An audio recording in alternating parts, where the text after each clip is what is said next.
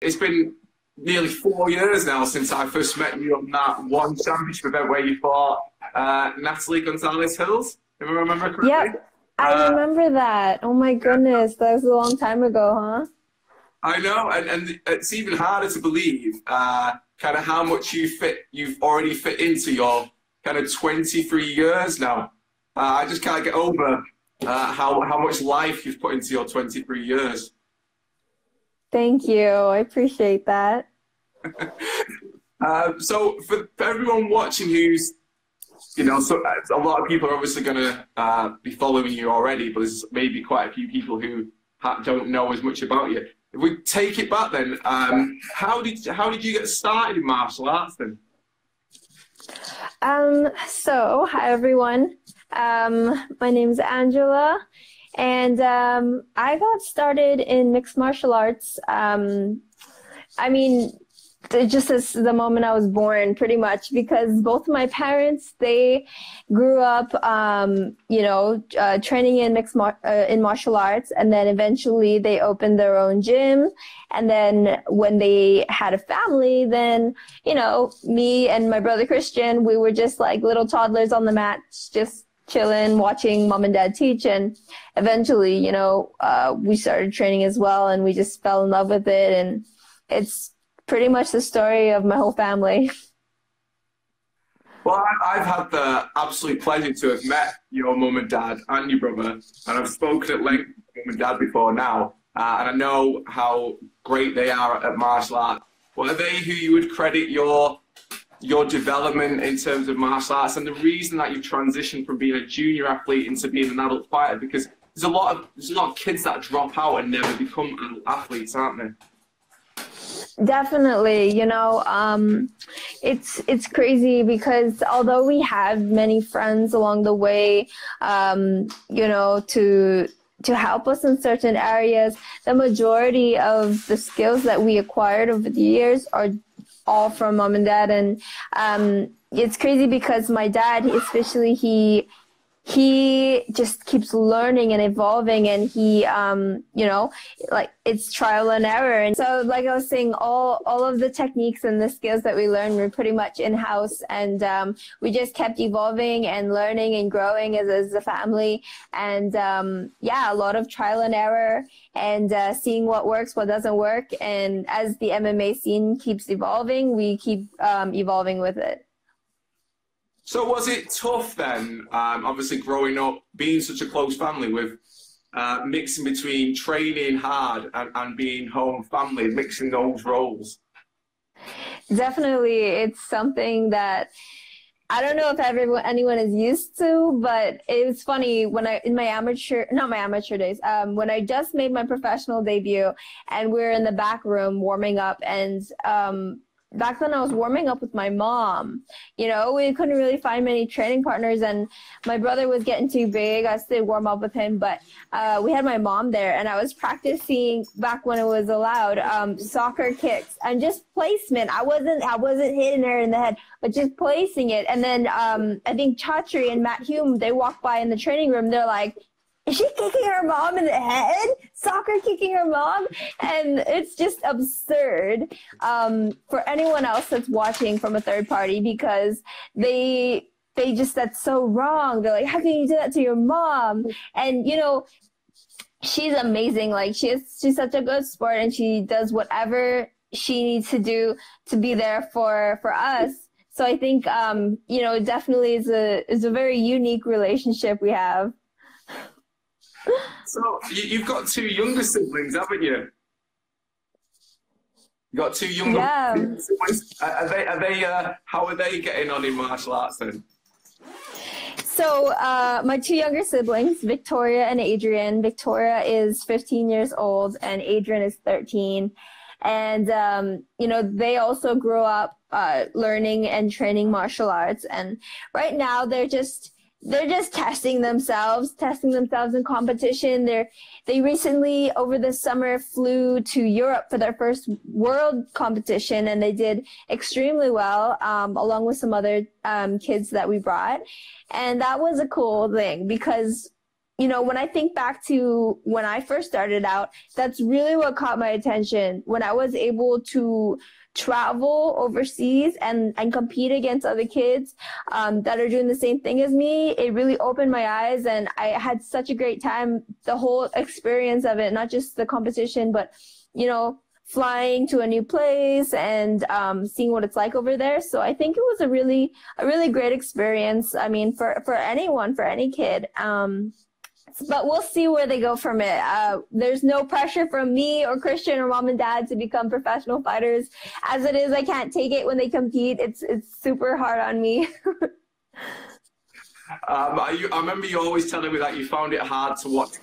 Found it harder to watch Christian than you did to, to fight yourself. Definitely, it's so nerve wracking because you have no control over the outcome. You know, you you're trusting entirely in in them and the skills that they've um you know that they have and then it's it's it's crazy. It's such a scary thing to see someone you love go through that. So I have a little taste of what my mom and dad go through, I guess. So I mean you you signed to one championship in the same year you made your successful amateur debut. How how did that happen? How did that come about?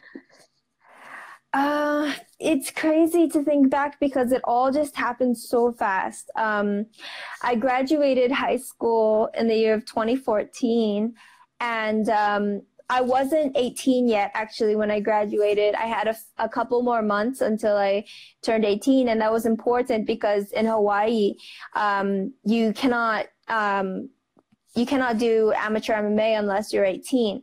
So I was just pretty much, you know, doing um, like kickboxing matches, grappling matches, um, some pankration, but I wasn't able to fully use everything together yet. And I was so excited. I was so itching to make my amateur debut. And so shortly after my 18th birthday, um, I was able to finally get a taste of MMA. And once I did, I just loved it. And um, I had three amateur fights here in Hawaii, pretty close together. And then uh, my dad actually, we started looking, you know, thinking about um, professional organizations to contact to to reach out to and he actually wanted me to have five amateur fights but i only ended up having three um, and then he contacted Matt Hume, which is actually crazy because Matt and my dad um, used to train together at AMC in Seattle like years ago. And he says Matt remembers me as like a little baby, like a one year old in a little baby carrier. My dad would go train with him. So it was insane how it all ties together um, now 20 oh 19 years later or 20 years later he he finally um, sees footage of, of my fights and he's like yeah let's let's um, let's get her on board let's sign her to one and uh, so it kind of just really all came together so nicely. And especially the fact that one championship is based in Singapore, where my dad was born and raised, um, was an incredible thing as well. So I think everything was just pointing us in the right direction. And one championship was an amazing fit for, for me and for my family. Yeah, I mean, talking about Singapore, it, it must it wasn't long after that then that you you transit you moved to Singapore to train out of Evolve for a period of time. Um, I mean, that must have been a, that must have been a big move at such a young age, coming from Hawaii, which is, is by all accounts a very close community and a super close family. Definitely, it was um, it was a really tough transition, uh, but that's how much I I wanted to pursue this dream, and um, I was willing to do whatever it took. Of course, many days I would be I would be homesick, and I would talk to my dad every single day, and my mom, my family, um, but I think those few years were really good for me, you know, to just grow as a person, um, learn independence, um, how to take care of myself.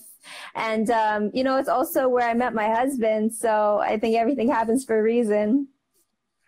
Yeah, I mean, it's it's funny. Uh, you brought brought us round to that. I mean, I know obviously um, you married Bruno um, last last year, wasn't it? Now, um, mm-hmm. I'm sure you didn't go to Singapore with falling in love on your agenda. How did that happen? Um, you know, just just um, when I was in Singapore, I was training hard every single day, twice a day, three times, and um, I was just focused on on training, getting to the top. And once I became champion, I was um, you know still training to defend my belt, and just along the way, you know. Uh, we were teammates, we were friends, and it it just turned into something more. And and I'm just so grateful for my time in Singapore, and and then now I, I took him back with me to Hawaii. So now we're living over here, and um, he's adjusted so well. He really loves it. I mean, it's hard to complain, though, right? oh yeah, I, I wouldn't complain if it was in Hawaii right now. we got to get you over here one day. um, so, I mean, you've got a massive fan base in Singapore. I've got to say, like, people have been messaging me going, okay, I want you to ask this to Angela. Um, so I'll, I'll, throw a couple in now because they are quite Singapore relevant. Um, so one person's asked, uh, do you miss Singapore? Oh my gosh, it's crazy that that you asked me this because last night I had crazy cravings um, for Singaporean food, for local food. And um, yeah, I definitely plan on going back to Singapore before the end of the year. So um, hopefully um, can meet some fans, you know, and definitely get some food. And, and it's funny that you mentioned food because another person said, uh, what's your favorite Singapore food? And I'm like, well, I don't know. Let's ask her. Oh my gosh, there's uh, there's way too many choices. I think uh, it really depends on what I'm craving at the moment. Um, right now, if I could dig into anything, it would probably be some fried kway teow noodles. Those ones are like my favorite. They're like so tasty. Oh, oh my gosh. Oh yeah, it's it's always funny how, how food brings back memories as well, isn't it? it kind of like food is like ah, I remember that because of eating that food. Definitely. Oh man, and and the desserts. Singapore is just a food heaven. Mm. I, am surprised I was able to stay in such great shape uh, while digging into all the amazing cuisine over there. So I, I miss it terribly.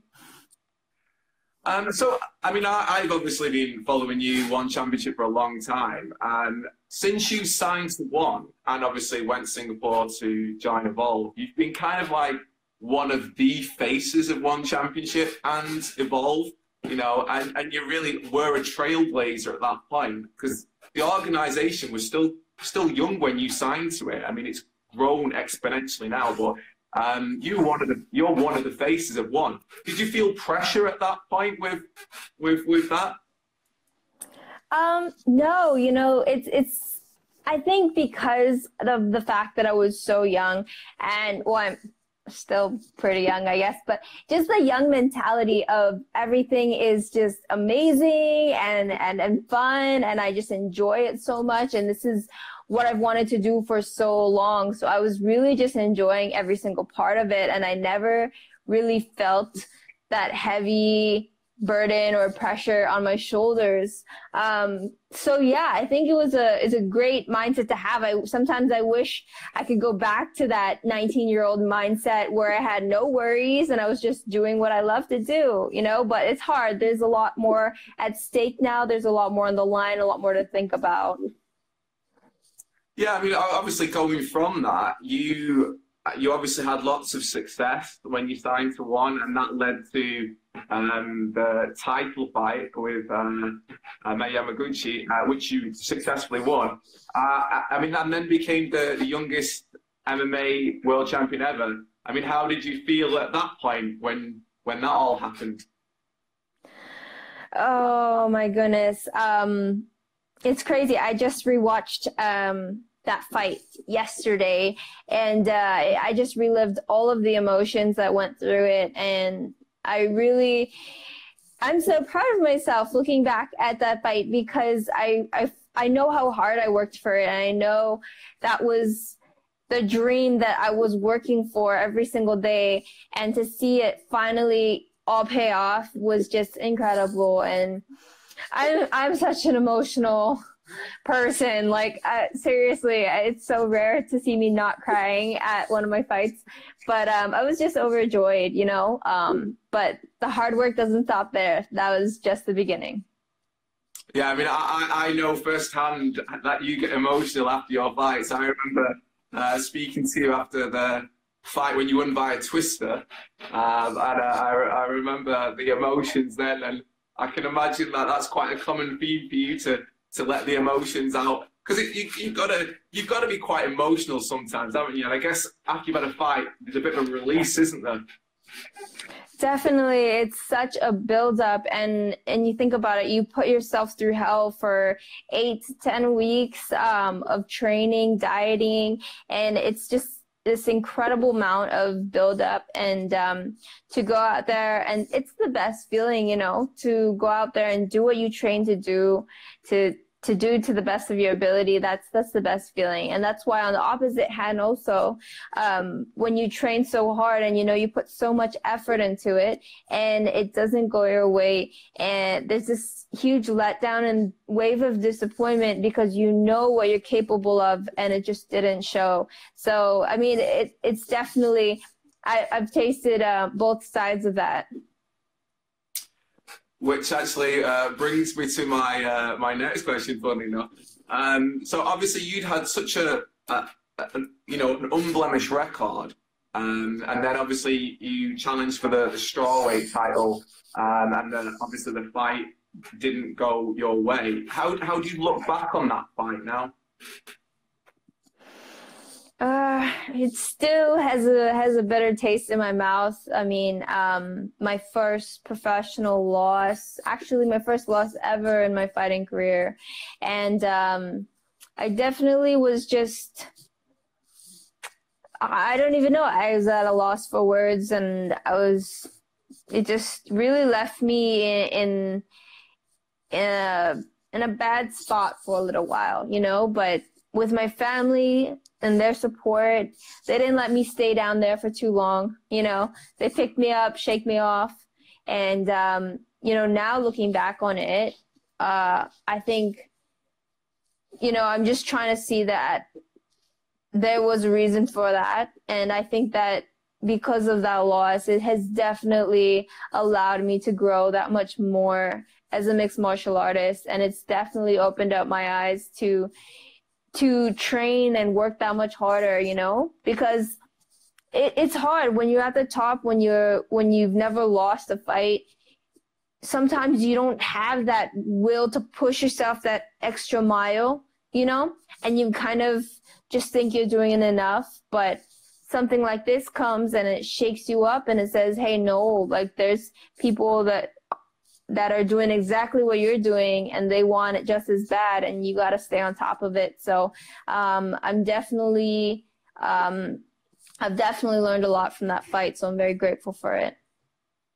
Yeah i mean i think you've you kind of hit the nail on the head there. I mean to some extent you're fighting most other fighters have had a, a longer amateur career where they've lost and they've learned from it and you're just you're on such a bigger stage that people sometimes might forget how young you are.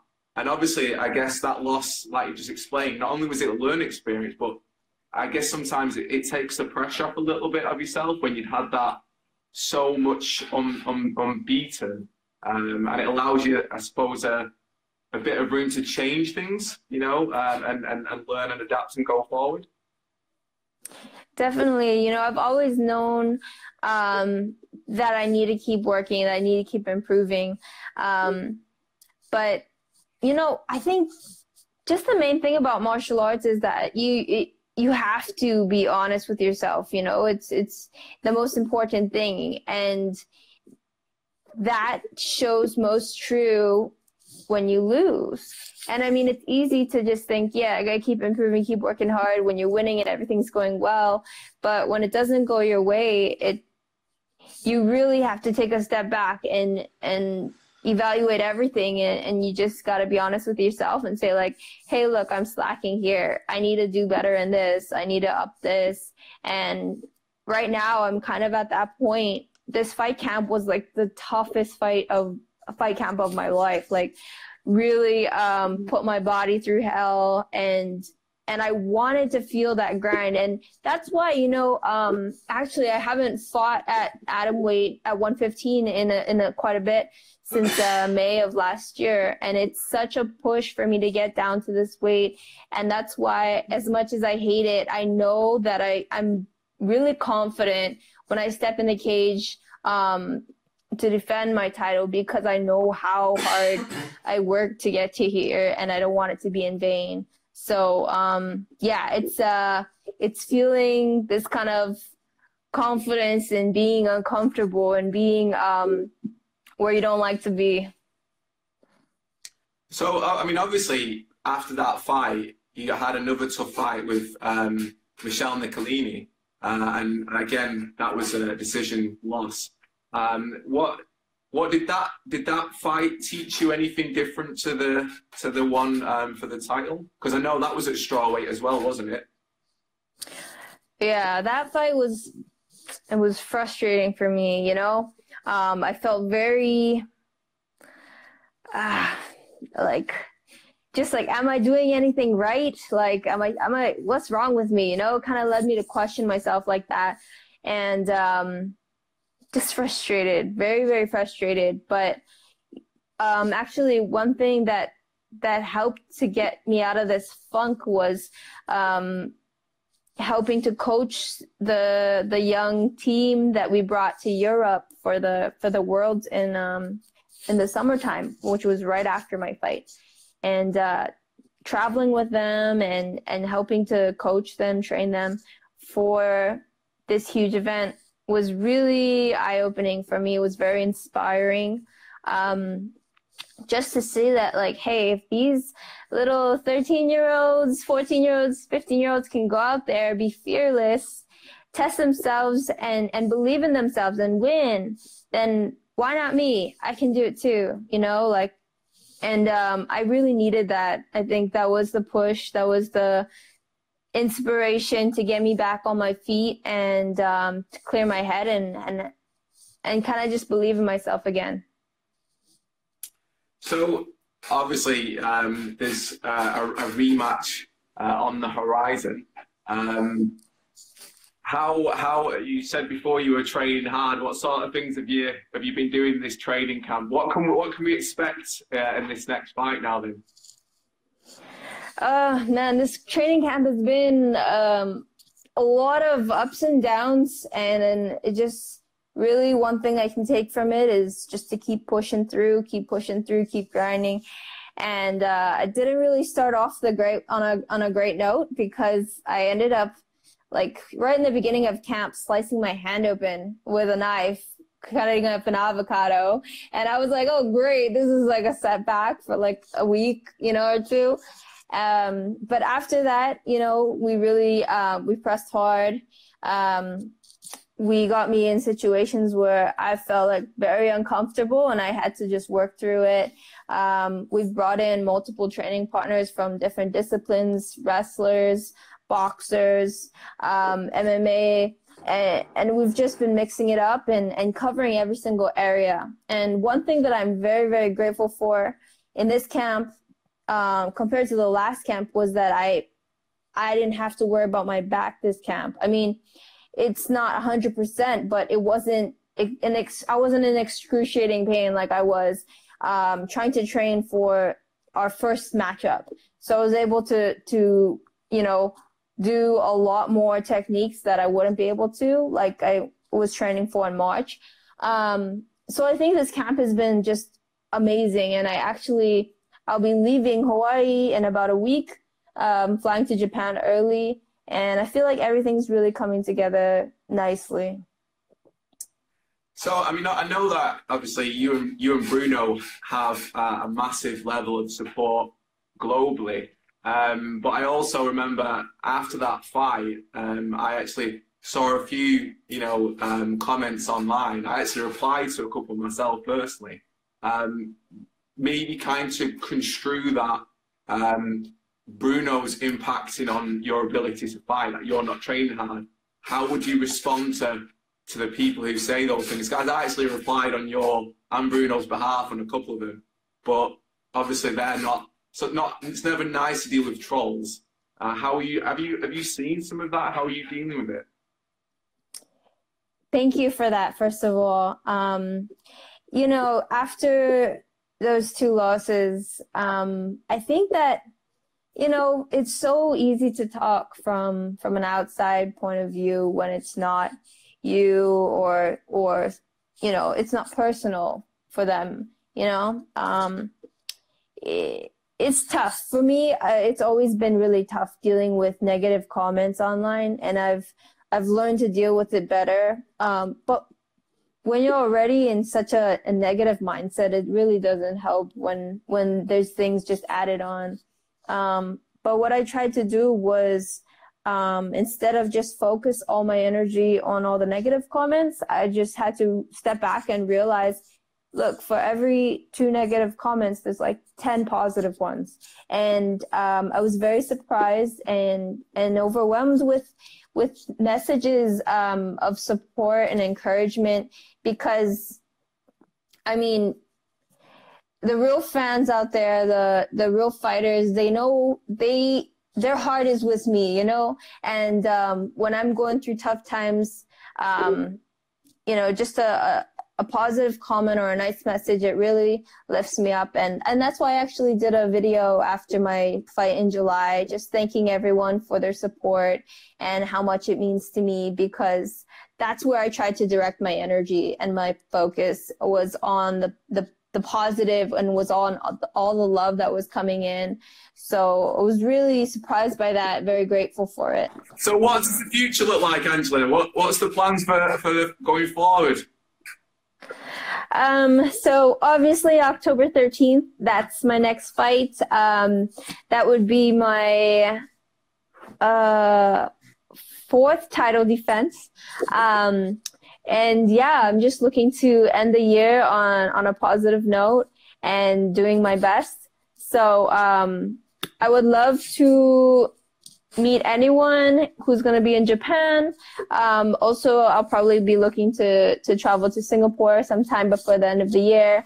And um, yeah, just you know, one thing that I really want to get out to to people, to the fans, is that I love meeting my fans. I really do, and everyone is. I don't know. It's this like intimidate intimidation factor, but they say, "Oh, I'm so scared. I'm so nervous." But like, I promise, like I'm I'm a nice person, and um, I would just love to meet them and say hi because it's sometimes the people I don't even expect. Like I did this hot yoga class with this um, auntie next to me, and she was like, "Oh, you're the MMA fighter," and I was like. Oh yeah, like no way, you know me, and um, it's just so cool, you know, to be able to connect with people like that. So, um, please, please don't be shy. I think it's probably because you've got such a, a mean fighter pose. That's what it must be. it's so funny. And then a lot of times they'll they'll look at me and they'll be like, "Wait, is that her?" Like, you look different in person, you know? Like, yeah, it's maybe because you always see me with like this mean face, the fight face. yeah, There's lots of comments at the bottom at the moment saying you have to visit them in different countries. You'll have to Brazil there. You'll have to do a global tour definitely definitely. Um, you know one thing that i love most about this job is being able to travel to all these different places. Oh i see greece brazil. Um, and definitely it's so it's so rewarding um, especially to meet the people over there. And uh, one thing that maybe i would be able to do later on when things uh, aren't so busy is do seminars. So that's something i'd um, possibly you know definitely consider So, so someone's put Stockport there. That's like that's like the biggest. Uh, like, out of all the places people are putting Brazil, Stockport is, is like a city not far from me. I don't think you want to visit there above Brazil and uh, Greece. no, I, I'm not picky. I, I, I love traveling, so definitely try and hit all of these places on my bucket list. Okay, guys. So for anyone watching, before we finish up with Angela, if you want to ask any questions at the bottom, you can ask away. I have a couple more to ask that people have sent me, so I'm just gonna pick up my list because I can't remember everyone else's questions. Um, let's have a look. Uh, how, how would you describe your fighting style?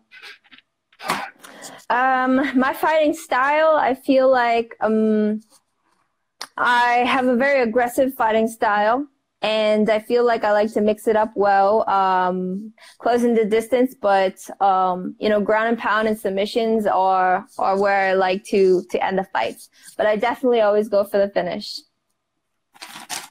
And uh, let's have a look. Would you follow any particular diet when you're leading up to fights? Um, or, or after training or whatever? This is something that I need to work on is dieting off season because it's such a hard thing you know? When you go through a fight camp and you are watching everything you intake you just have all these cravings that you want to check off your list after you're done your fight. Um, so but it's hard because people say the best time to lose weight for a fight isn't during fight camp is is off season. But it's hard for us fighters because one we never know when we're going to fight and two um, it's just so hard to restrict yourself so um, i should i should eat better off season but i don't obviously like I, i'm a big food lover and pizza pasta burgers sweets they're my weakness Uh, okay, we're getting a bit more personal here. Do you have a, a pet name for Bruno? Um, I I call him Hubs, like H U B B Z, um, because I think hubby is a little bit, a little bit. I don't know. I don't know. It's just not my style. But yeah, just babe Hubs. uh, and uh, who would win out of you and Christian in a grappling match? you know, it was me for up to about 14, 15 years. And then once he got bigger, he was just too nice about it too. Like I could tell that he was like letting me win still because he's so sweet. Um, but he's just so big and just, I can't even do anything. I feel like really like small compared to him now and it's sad everyone thinks he's he's the older brother too and i have to say like hey no just because he has a beard you know and a mustache going on like i'm still older um, and what something what can you tell us about bruno that we don't know um i don't know he he he likes to make corny jokes um, um, but he loves like martial arts. He he always watches boxing matches, jiu-jitsu matches. Like he's a true martial arts fan. I mean, his favorite movie series is like Rocky. Um, and yeah, I'm so excited um, for his next fight too, to be announced soon. Okay, uh, that's good. So, what, do, do you know uh, where that will be, or are you not sure yet? Um, we are actually in the final stages of getting him his U.S. green card, which was so painful. Um, so we just have the interview and he is good to go. So actually right now, for the past few months, he had to be stationed in the U.S. He couldn't leave. But before the end of the year, we are definitely hoping to get him on one of the fights cards. Ah, fantastic. Um, okay, so one more then off this list that people sent me. Um, do you like binge watching Netflix? What what's just what series do you like watching? You know what? Um, for the longest time, I never watched TV. I never watched TV. I could never find a good uh, series, and there was people talking about all these different ones. So uh, Bruno and I gave it a try, and we watched this um, a few seasons of Bad Blood um, on Netflix, um, Shooter, and now we just started watching. Well, we did, but we took a break from. What is it now? This this one about a bank robbery, like a bank heist or something. Money House, I think. Money, something like that. Yeah, but anyways, we, we don't really have much time to watch um, TV, but when we do, I'm definitely one of those binge watchers that's like, let's do the next episode, the next episode, and it's like 4 a.m. that's the only way to do it on Netflix. You got to binge watch. yeah, they catch you like that. I mean, you like it because it's shorter than a movie, you know? Um, it's easier to watch, but then you end up watching like three or four, and it's longer than a movie. So. so, what have you got planned for the rest of the day? Anything fun, or is it uh, anything laborious? I am headed to a massage. Um, been training pretty hard, so got to take care of my body too. And um, yeah, that's uh, massage and then back to training. Well, there's lots of comments at the bottom saying good luck on your next fight, um, and obviously wishing you well and saying ignore the haters. Um, so I just want to say thank you for taking the time to speak to us all. Uh, have enjoy the rest of your day, and I'm guessing Instagram's a great way for people to keep following you, keep following your career. Definitely. Thank you guys so much for the for the love and the support. Um, I'm the most active on Instagram, so shoot me a message, um, tag me in something, and I'll try my best to get back to you guys. But just want to know that I really appreciate all the support, and I was I was really it was really fun chatting with you, Stuart. I can't wait to watch this fight. I was watching that first one and I, I'm honestly, I cannot wait to watch this one. You know, I, am gutted that I'm not actually there because I was in Japan for an event not long ago. Um, but oh, okay. yeah, I'm not going to be in Japan for this one. I'm actually going. I fly to Amsterdam tomorrow morning. Um, I'm, I'm okay. Down, but yeah. Oh, no, I wish I was there live for it. Uh, but I'll definitely be watching it uh, as it goes on. I'm sure you're going to smash it. I can't wait to watch it. Um, have a fantastic rest of the time, and the rest of your training camp. Say hello to everyone uh, and uh, enjoy the rest of your day. All right. Thank you so much. Cheers, safe travels, and hope to speak to you again soon. Pretty soon, Angela. All right. Bye bye.